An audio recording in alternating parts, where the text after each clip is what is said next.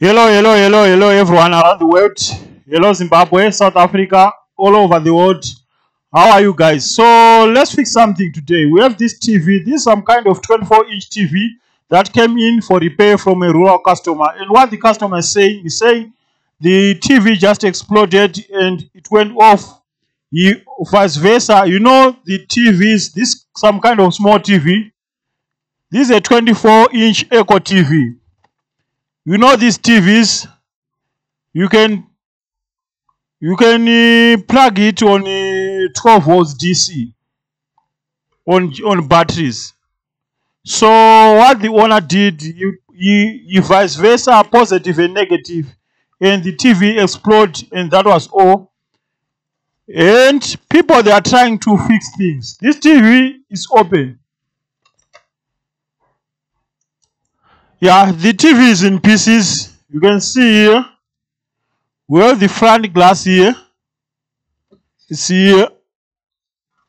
And uh, we have some buttons. What I want to do, uh, the power supply is already on 11 point,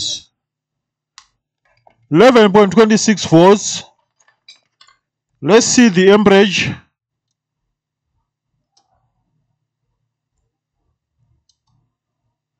Three amps. Let's lower the current to to two amps.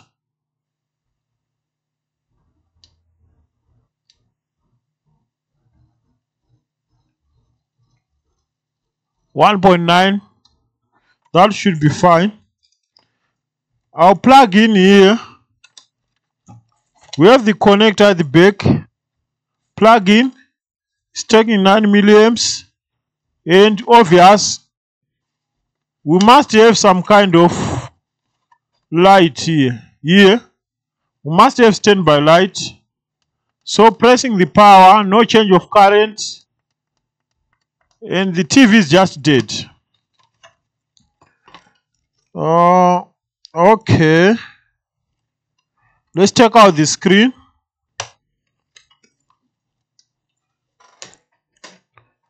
Now, we can access the motherboard.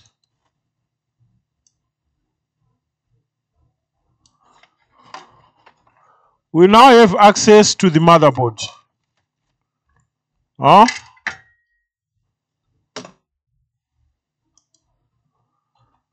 This is the motherboard of this of this small TV. Here we have a blown up capacitor. These are some screws.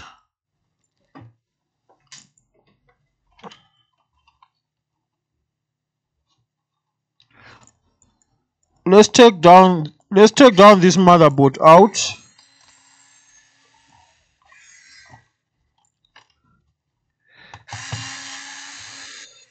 You know this is some kind of small tvs they are dying easily. Especially this processor is dying so easily. And you know what? Check what the owner did. He saw that the two wires so that he can connect direct to the battery Huh? People they are learning. People they are learning. So basically, the ma this motherboard, I can see an exploded capacitor here. Uh, another exploded chip there. We have some diodes, four diodes in parallel mode. We have the EPROM, we have the processor. Let's check few things. Diode mode. Let's start checking some things. Huh? So what we are checking here, you know, what I learned over time on this motherboard, I start, I go straight on the VCC of the EPROM IC, the BIOS, whatever you call it, memory chip. I go on the last pin because that pin is meant to sub to supply 3.3 volts. And if it's grounded in most cases this processor is gone. So i don't want to waste time. So this is pin number 4 is ground and pin number 8 looks good. Okay? It looks good. We have some diodes here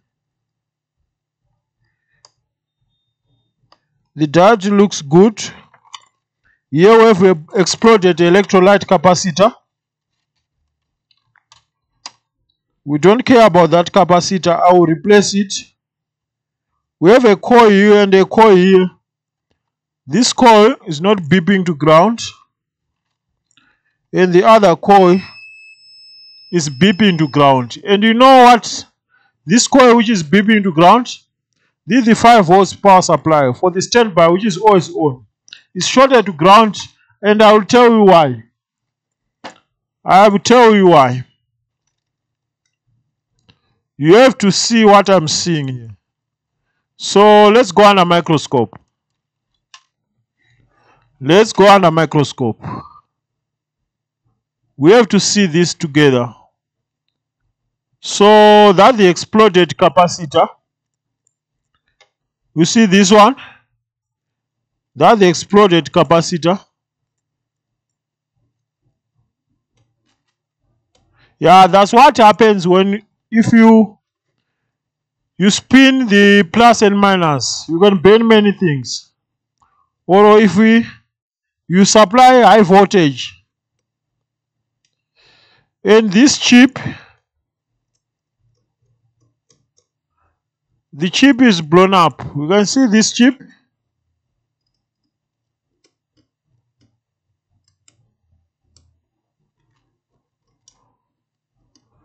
The chip is exploded.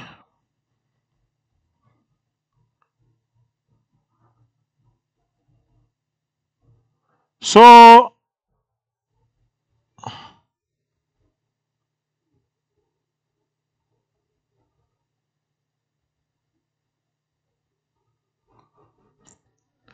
that's the story.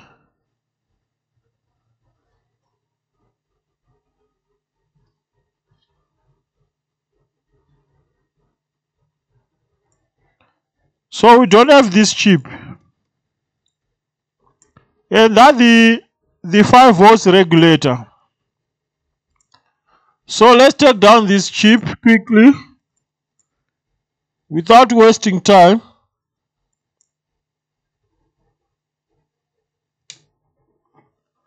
Without wasting time.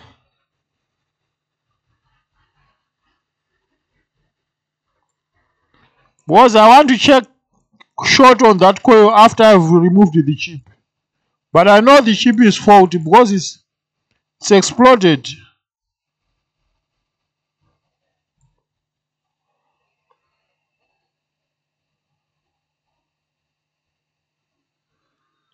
And how should I do it smart? Huh? Because we have a plastic connector there.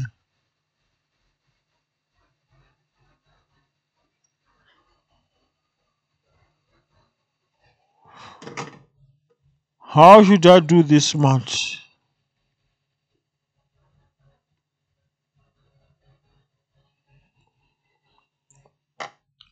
Let's try to remove this connector. This plastic connector.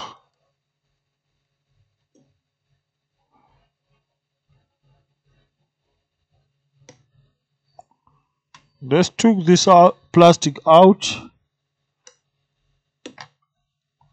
so that it won't melt. We'll put it back later.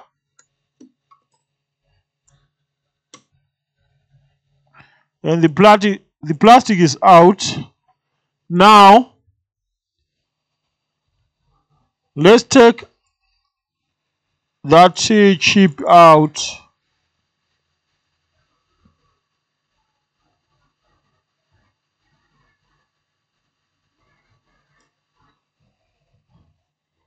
the chip is out and we have problem of this capacitor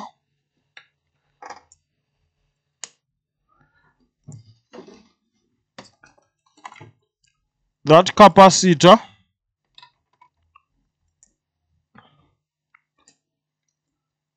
here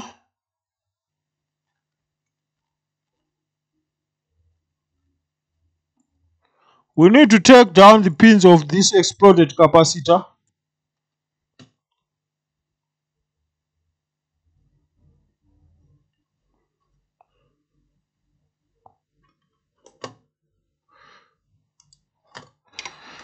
We need to take down this capacitor. Oh.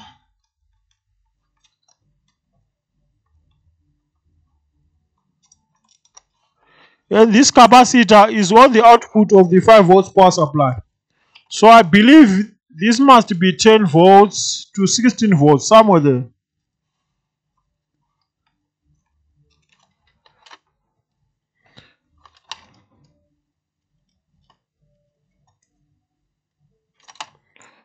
What I want to do, let's test for short on this coil. And there's no more short anymore because we took out the shorted chip. So how we are going to fix this? Huh? Uh, let's look for for a capacitor. While still thinking what we can do here, let me look for a capacitor. 10 volts 470 that should be fine 10 volts 470 there's nothing bad with 10 volts with the 10 volts capacitor on a 5 volts power rail there's nothing bad about that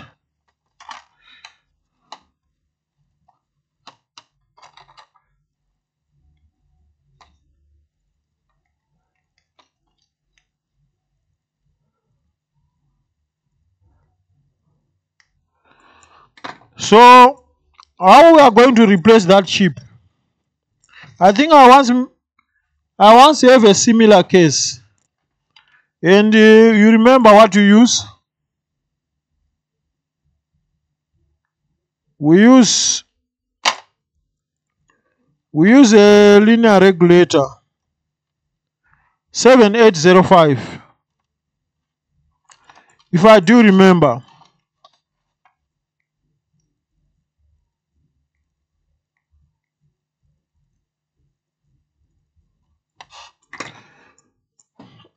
I'm not here with the with the temperature of this soldering iron.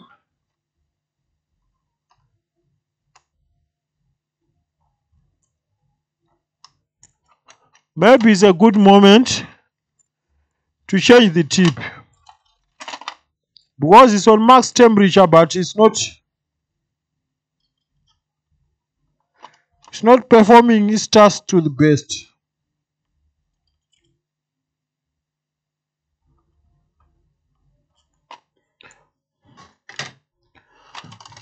capacitor replaced now now we need a linear regulator. Hmm? uh, we need a linear regulator. Let's see. Let's see this.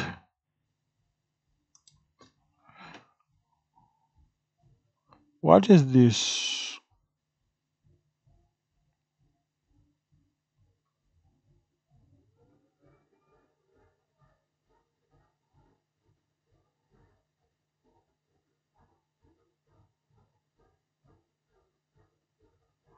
No, this one is 7, 8, 12. That's not the one. Let's let's look for linear regulator. Hmm? What about this one?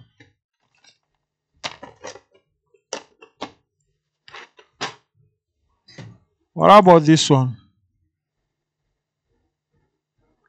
Check our regulator. 7805.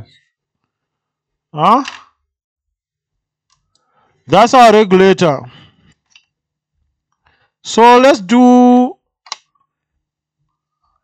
we have the input, output,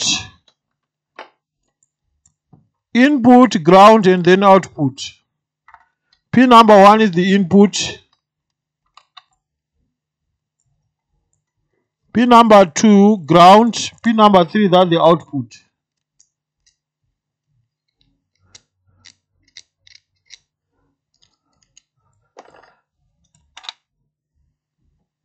I don't know what, I was trying to do here because this is already we have some wires here except one for the input. So we need one wire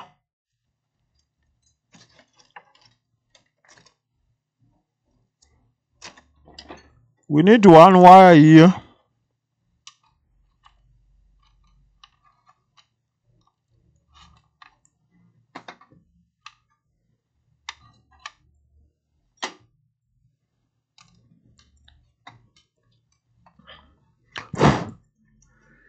We need one wire for the input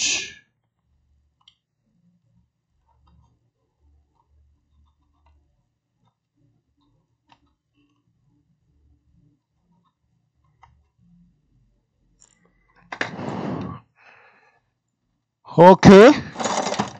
Now now you know what? I was supposed to test. Why is it I'm trusting this regulator? We have to test it. Input ground not shorted output ground shorted input output not shorted. The, the regulator looks fine. The regulator looks fine. So let's solder the regulator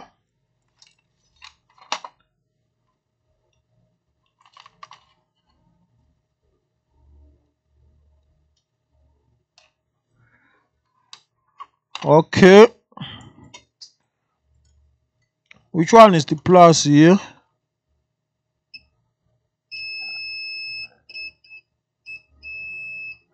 so the brown the brown wire is the plus. So let's put here input on the brown. So let me solder this regulator and then we'll we'll see what's going on here. So what i've done here that's our linear regulator 7805 uh, pin number one the, the red wire is going straight on the plus of the charging port. 12 volts. And pin number two i saw that on the vga uh, connector here which is ground. And the the output pin number three which is on the output i saw that the exactly on the 5 volts power supply. So is that good moment to test i'll plug in the power supply. Here. We have to pay attention here. We must see some light if everything is okay. You see the red light? And is is taking 39 okay. The regulator is cool. On. Let's see if the this light is changing from red to to blue or green. And it's now green. The tv is now on. So let me bring the screen. Let me bring the screen. I really need to see if i really need to see if everything is fine here.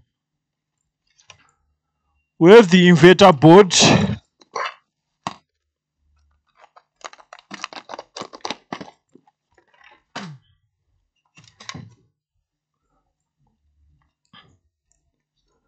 Let me connect all the cables here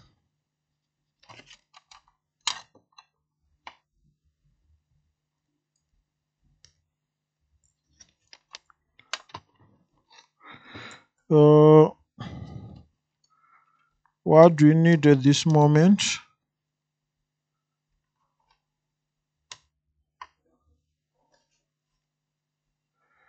Uh, on.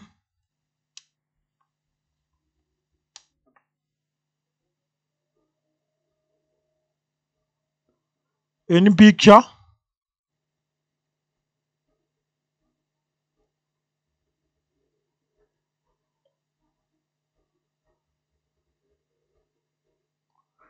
and we have nothing on the screen.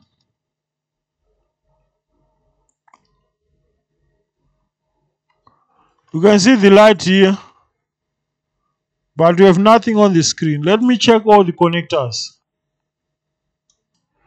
Let's see now. I've put all the connections in place let's try one more chance. One more time. You can see the red light here. Maybe you can see. What's going on here?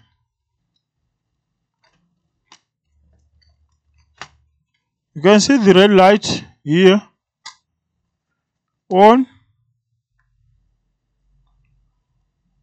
And you can see the Ecco sign supposed to be like this.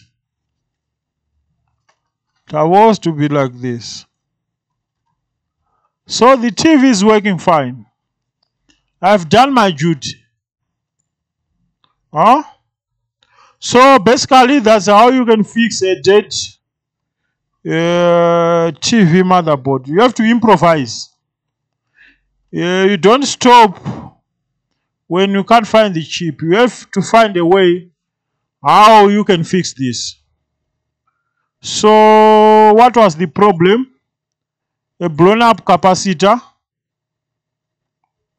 and uh,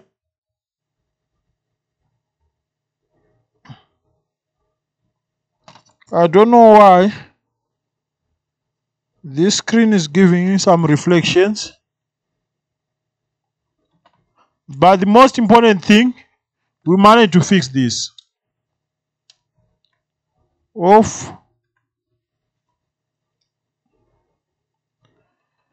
the problem was the 5 volts power supply for the standby which was off. The the chip remember that chip that we replaced in the the capacitor?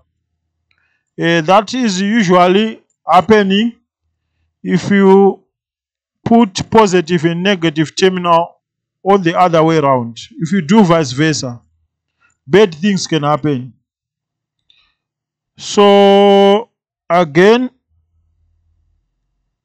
Ecco sign and our TV is working. I don't know if this is a, a screen issue which is causing some some lines but uh, what I can say like subscribe don't forget to turn on the notification bell for future updates. And see you on the next one. Bye